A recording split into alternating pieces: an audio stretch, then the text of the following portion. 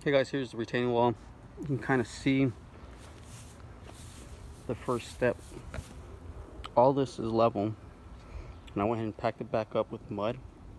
Because I need I'm gonna need to take those two by fours out. There's really not enough room to have that in there, in my opinion. Well,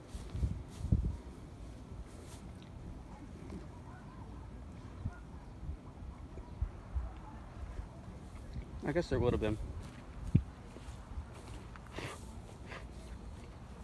I'm hoping this mud will harden. And um, as I get my cement ready, I'll pour it onto the right side of the this wall. And then um, take out these forms as I get closer to the wall here. It should work out well. You can buy these stakes at Harbor Freight, I'm sorry, at um, Home Depot. What I like to do is um, cut my own stakes. You see kind of the angle that I cut, it works well enough. And so I go to down to Harbor um, Home Depot and I get these spare pieces of wood. This is a 2 by 4 It's like a 2 by 3 But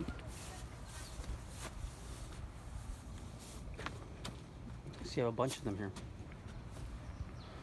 These are the ones I'm going to use for my forms, the 2 by 4s And then I'll use these 2 by 3s to, what I'll do is I'll just cut it right down the middle. And I'll cut it about um, 10 inches or so and put a slice on it. So I have my saw set up right now happens to be at about 40 degrees. It's about 40 degrees there. Let me see the angle of the blade.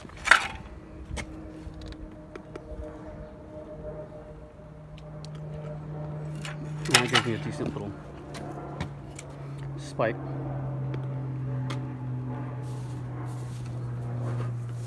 Nothing, nothing is screwed in. They're just kind of tapped there.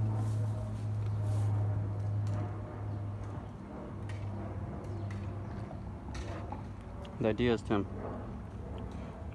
get this little form right here going. So when I pull it up, that'll be my base for leveling out my cement. I still need to put my rebar in. But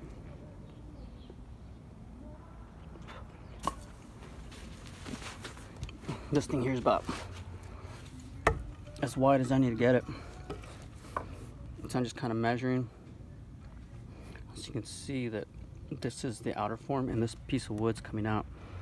So as I make my my table here with this mud, this mud will actually be the outer wall.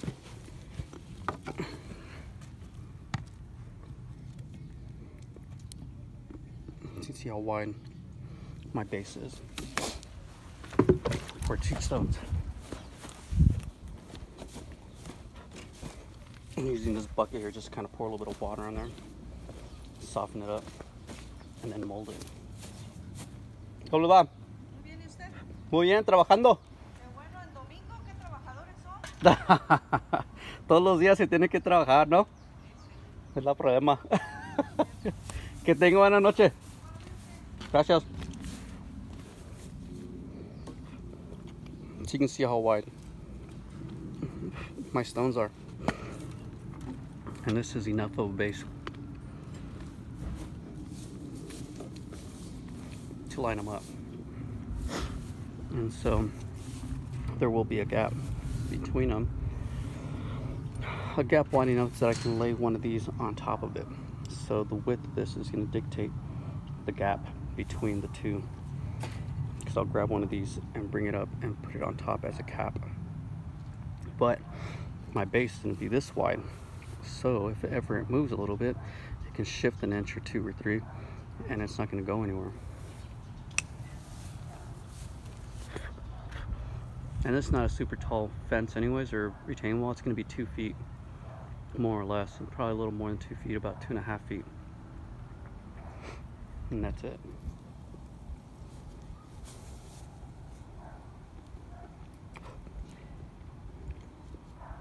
anyways, thanks for watching, guys. Appreciate it. Just want to let you know, you know, you don't have to do all this fancy stuff to get it. This thing here, I just happened to get it for free somewhere. I probably had it 10 years or so. It's for um, going back and leveling out your cement, so I would definitely use it again.